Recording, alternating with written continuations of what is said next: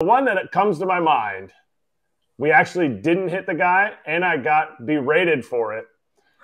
the Cardinals, the Cardinals had hit uh, Christian Yelich like three or four games or three or four series in a row, and he was pissed about it. So I told the first pitcher to come in and hit the first batter, missed him. Oh. Then, so I'm pissed.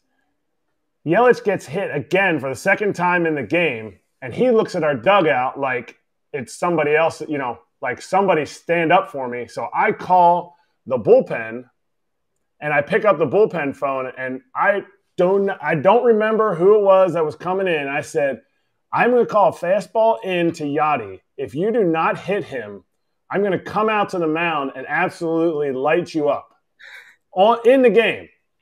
And it was our bullpen coach, and our bullpen coach, Lee Tunnell, goes, uh, okay.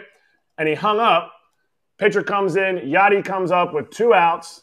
We throw inside and we miss him twice. Oh, wow. So we missed him.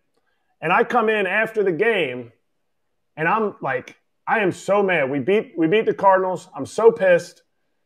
And I'm like, are you guys kidding me? Before I said anything, Skip comes in, Craig Counsell comes in, and he goes, Kratz, come into my office. And I was like, what? Like, I'm pissed. He's pissed.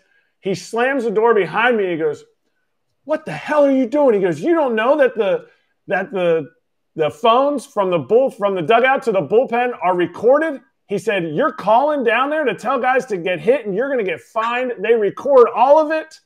Oh, and I was like, uh, so I thought I was doing the right thing, but I didn't end up doing the right thing, but they never fined me either. Was that in uh 2018? It was.